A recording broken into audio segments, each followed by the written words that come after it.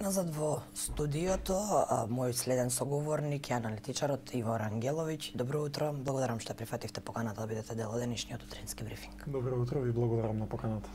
Она, кај оваа година кај нас е некако константно тема проблемот со Бугарија на страна од коронавирусот. Па јуни е фокусот на Скопје за одмрзнување на преговорите или за добивање на поддршката од Софија, но еве како што гледаме тоа е малку веројатно. А, во меѓувреме пристигна и оној португалски предлог. Очекувате ли да донесе нешто конструктивно? Во овие моменти најважно е македонската јавност да знае дека португалската иницијатива, односно европската иницијатива преку португалската дипломатија не нуди конкретно решение на спорот, туку ќе би понудиле евентуално некаков патокас, платформа или методологија по кој би се решил спорот со Бугарија или имплементацијата на договорот со Бугарија. Значи, наивно е да очекуваме суштинско решение. Сметам дека во овие моменти Европската Унија гледа како да го зацврсти легитимитетот и кредибилитетот на Копенхагеншката критерија, бидејќи очигледно дека оваа небулозна софиска критерија ја се зацврстува како нели како импозантно нешто на овие простори, што е невидено до сега и затоа мислам дека а, треба да очекуваме доколку евентуално дојде до некаква деблокада преку португалската иницијатива, тоа не би било решение, тоа би било некаков политички а, патока, што би го све, би го свеле овој спор на, на рамките на билатералата, значи билатерално да се решава додека европскиот пат не би бил загрозен за Македонија. Сега датумот е нели 22 јуни е Советот на општи работи на лидерите на земите членки, меѓутоа неколку дена пред тоа нели се решаваат контурите на она што ќе биде разговарано и решено на тој совет. Сметам дека е многу краток периодот, надеж постои, меѓутоа и ова е нешто, значи има некои позитивни искри од бугарската страна, па да се надеваме дека овој почеток наговестува нешто позитивно. Каде ги гледате тие позитивни искри? Пајде да почнеме од она заедно патување на председателот Стево Пендаровски со бугарскиот председател Радев. Сепак тоа мора да се поздрави, бидејќи на некој начин покажа дека може да се разговара и да се пристапи со еден, во еден европски дух. Сега многу аналитичари тоа го толкуваат како некаква символика дека тоа навестува евентуална заедничка историја или некоја таква формулација во решавање на спорот. Мислам дека е многу рано да се збори за такво нешто, но е добар потек. Се нели се наговестуваат и состаноци на министерско ниво, на ниво на влади, на премиери, онаа донација нели со вакцините која следи можеби да биде некој политички чин кој ќе ги закрпи малце овие рани кои се случи изминатиот период, времето ќе покаже. Велите за бугар за португалската иницијатива дека е патоказ впрочем за решавање преку оној прво подпишан договор за добро соседство. Но во целата оваа состојба, во целиот овој период и со самиот чин на блокирање на, на Македонија, токму Бугарија го крши договорот за добро соседство. Токму така, јас искрено сметам дека Бугарија или владата на Бугарија, па и онаја критичната маса во Бугарија не е толку наивна да поверува дека целта на Бугарија во овој спор е идентитетска политика и да се извлече некаква, некаква победа во однос на генезата на историјата и сето тоа.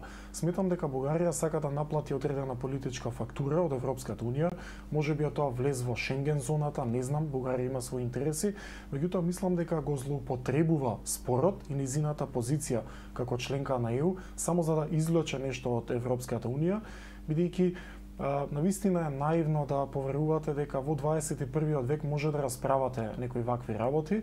Сметам дека таквата стратегија и тоа како задоцната и затоа а, мислам дека Бугарија ќе побара нешто како некоја политичка компензација, ќе што се вели ќе пушти една фактура во а, Брисел да добие нешто за да ја тргне блокадата. Во овие моменти таму имаме еден вакуум, би рекол, во Бугарија, има една техничка влада, која според мене е по кројот или по текот на председателот, со, сакам да кажам дека председател во моментов ја има моќта, дури и господинот Стефан Јанев е би се рекло на на иста фреквенција политичка со председателот и може би Европската унија насетува, го насетува тој вакуум, иако ниту една техничка влада, без малку, ниту една техничка влада во светот не носи крупни суштински одлуки. Обично тоа се остава нели подоцна на политичката влада, но мислам дека постои овој простор и дека го наситува Европската Унија, дека може би токму со оваа португалска иницијатива и во политичката констелација во која се наоѓа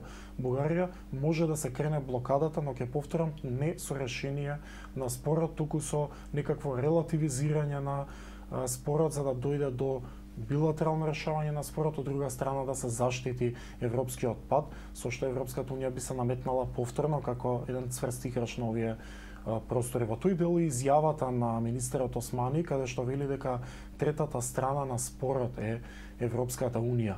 На еден начин имплицира, ја имплицира необходноста на ЕУ да се вклучи во спорот, бидејќи знаеме дека тешко се решаваат билатералните спорови на на Балканот и сметам дека е трета страна Европската унија во спорот, бидејќи дел од вината е и на земите членки. Да, но Бугарија тоа го одбива, видовме и во изјавата на председателот Радев, токму во, во Рим, кој не прифаќа практично преведувачи или медиатори во спорот. Да, многумина ја толкува таа та, тој чин како провокација, нели да се дојде до а, истоимена од, од единствена генеза дека македонскиот јазик потекнува од а, бугарскиот, мислам дека премногу се навлегува во детали, мора да се ставиме во негова позиција, он брани одредена политичка структура во Бугарија, каде што следуваат избори. Точно е дека цврста ставот на Бугарија, меѓутоа сметам дека доколку дојде до некаква а, политичка компензација со Европската унија, веднаш би го би го тргнале ветото и убеден сум дека ниту една политичка партија или политичка струја во Бугарија не е убедена и не верува дека на крајот овој спор ќе се реши со тоа што Македонија ќе признае тоа што Бугарија го бара и дека така ќе се одвиваат работите по нашата дипломатска офанзива Португалија презема чекори, но на 1 јули завршува нивното председателство и го презема Словенија под водство на Јанес Јанша. А, тој навистина беше скандалозен а, во текот на минативе месеци со оној нон-пейпер, но а, во последно време она што опишуваат а, меѓународните медиуми, тоа е дека Јанша се залага практично го нарекува тоа балканизација на Европа, секако за а, влез и за интеграција на сите балкански држави во Унијата. Очекувате ли нешто поразлично? по преземањето на, на словеничкото председателство? Искрено, моите надежи повеќе се а, базираат во председателствувањето на господјата Меркел во а, Германија, повеќе од она кој ќе биде а, чие ќе биде председателството во Европската унија. Бидејќи тоа е на еден начин само проформа, би кажал. Дури господинот а, Јанча, како што го знаеме, е нели дискутабилен, меѓутоа тука се работи за еден геостратешки интерес. Значи не постои земја во регионот на која не ја одговара Македонија да а, биде дел од а, Европската унија. Пред се тоа е Бугарија. Значи Бугарија е и првата земја која призна независна Македонија а, своевремено. Не толку поради тоа нели дали не сакаат многу, меѓутоа си имаат своји интереси. Значи добро е да се граничите од економски и политички аспект, со исто така членка на Европската унија. Бугарија тука неостварената стратешка цел е да ја направи земја сфера на свое влијание и до некаде има одредено влијание, меѓутоа сметам дека не треба да ја гледаме словенечкото председалствување низ призмата на тоа како постапува господинот Јанша. Овде е малце поширок интересот. А е сега дали ќе биде различно од португалското или од словенечкото нели заседавање, не би знаел, меѓутоа сега е има некоја како што кажав политичка искра, политичка волја и може би треба да се искористи овој момент. 22 јуни е и далеко и блиску, зависи како ќе се одвиваат динамиките и зависи колков ќе биде притисокот на Европската унија. Не е толку проблемот што ќе се ќе дојде Словенија да да предводи нели Европската унија, проблемот е што ќе дојде до нови избори во Бугарија и тоа сето тоа потешко ќе се абсорбира на бугарската домашна сцена, евентуално решение. Затоа сметам дека добар е моментот сега да се крене блокадата, односно да се тргне ветото и овој спор да се сведе на да се реши на низ билатерални односи. Може ли а, председателството на Словенија да го потурне Балканот или балканските држави поблиску до до унијата? Се разбира дека може, значи одамна е некои од балканските земји како Словенија и Хрватска нели со предобри он иницијативата работат на тој план. А, не знам која ќе биде тежината на Словенија да посредува во овој спор. А, меѓутоа, знаете, многу е важно кога сте јас така го гледам тоа на правата страна на проблемот, што сметам дека Македонија ја има целокупната подршка од Европската унија пред се поради тоа што сме објективни во нашите барања. Значи, и тоа е тоа е најважниот момент и многу е полесно кога сте на правата страна што се вели на историјата, што ретко се случувало на Балканот, но во овие моменти сум убеден во тоа и затоа сметам дека јако е тешко да се дојде до рационално решение, со посредство на Европската Унија и со малце разум ќе се дојде до до политичко решение. Дали ќе биде Словенија клучен фактор во тоа или не, ќе видиме. Португалската иницијатива за сега е нели најактуелна и сметам дека треба да се да се искористи колку што може и дали воопшто може. На почетокот ги споменавте копенхагешките критериуми кои се услов за влез во унијата, но во последно време гледаме како држави членки не, не постапуваат во склад со овие критериуми, па еве ќе ги споменеме Унгарија и Словенија како пример. Што е проблемот? Каде избега од контрола работите внатре во Унијата? Зошто има повеќе држави членки кои се борат со правните и со политичките критериуми? Еве како први ќе ги спомнам слободата на медиумите и слободата на правосудството како нужност. Токму така постои една една сфера во науката, во меѓународните односи која говори за демократскиот дефицит на Европската унија кој одамна го има тој проблем. А, сметам дека проблемите кои се јавија во рамките на самата Европска унија на некој начин ги запоставија овие работи кои вие ги ги велите.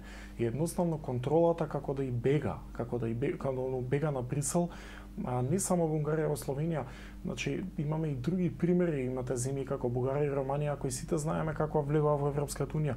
Ја би кажал дека дури Грција своевремено времено потполно не ги исполни критериумите за да влезе, иако тогаш беа поразлични тие критериуми.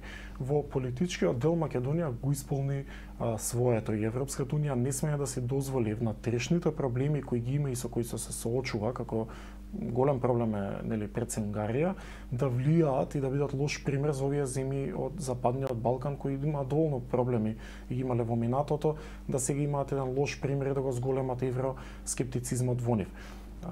Затоа сметам дека треба Брисел, треба Брисел да се посвети на контролата која има, се збориме нели она проформа де факто контрола врз земите членки да се дојде до една консолидација за да може да се даде добар пример на земите членки кои нели претежираат да влезат во Европската унија. Е, сега како ќе се реши тоа? Постојат многу механизми. Унгарија, значи, во неколку наврати се спроведени одредени санкции, меѓутоа популизмот очигледно гледа зема толку голем замав да е многу посилен и од таа консолидација кон која цели Европската Унија, затоа ни се потребни цврсти брекол лидери пред се на Германија и Франција кои се сршта на, на Европската Унија.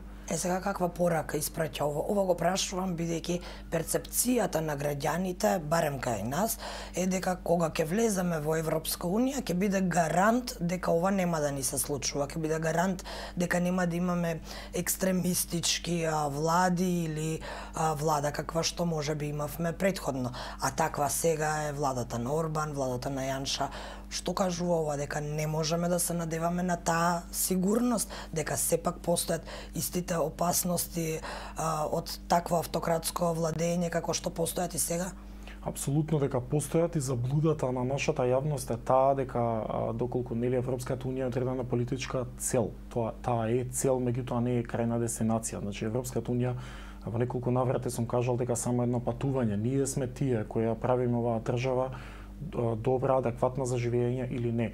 Европската унија е само една, една, една фамилија, една помош во кој ние би се развивале. Не можеме да очекуваме да ни се решат сите проблеми, А, така да очекувам дека проблемите ќе траат. Вие видите ги соседите, на пример Бугарија, откако е влезена во Европската унија има своји подобрувања, меѓутоа на политички план и нема, во на корупцијски план и не се толку крупни, дури може и се полоши, така што меѓутоа има некои земји кои влегле во Европската унија и се значително подобрени, како што е Словенија. Затоа сметам дека а, не треба многу да очекуваме, за многу нели да не се разочаруваме, меѓутоа треба да работиме без разлика дали ќе влеземе или нема да влеземе во тоа семејство, ние ги држиме конците. Европската унија е само помош.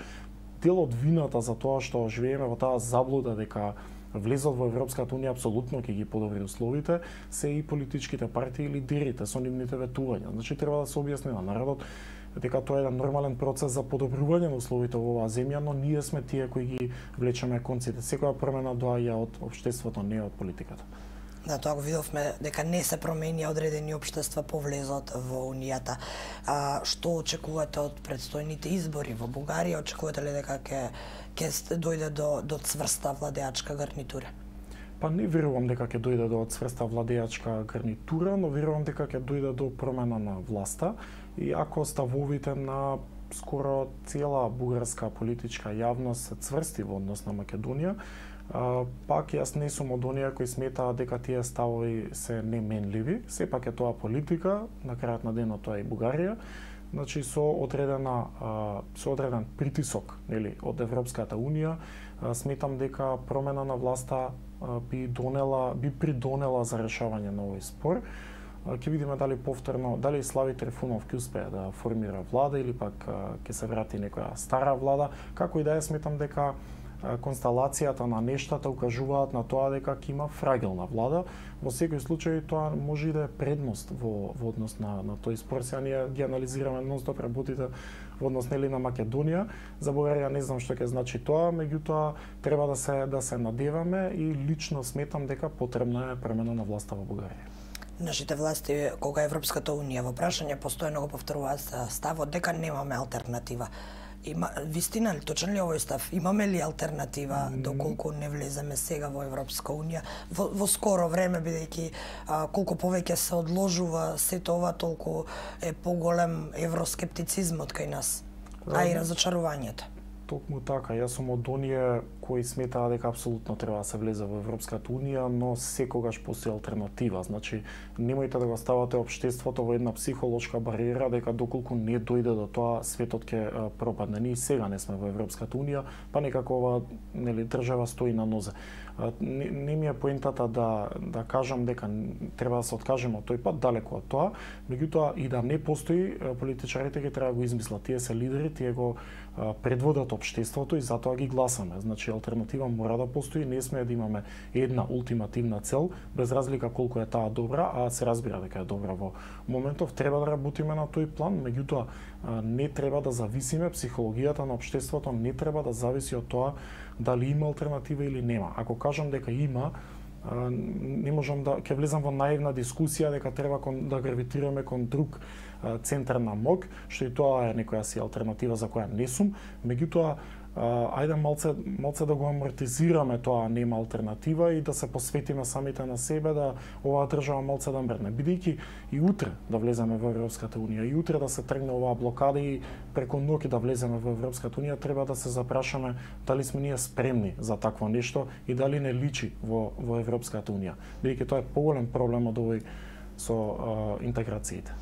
Е, сега бидејќи Бугарија е, проблемот овде, то поточно бугарската страна го искреира овој проблем, па може би и ние новинарите и медиумите сме пофокусирани на коментирање на а, постапките на бугарските власти и политичари.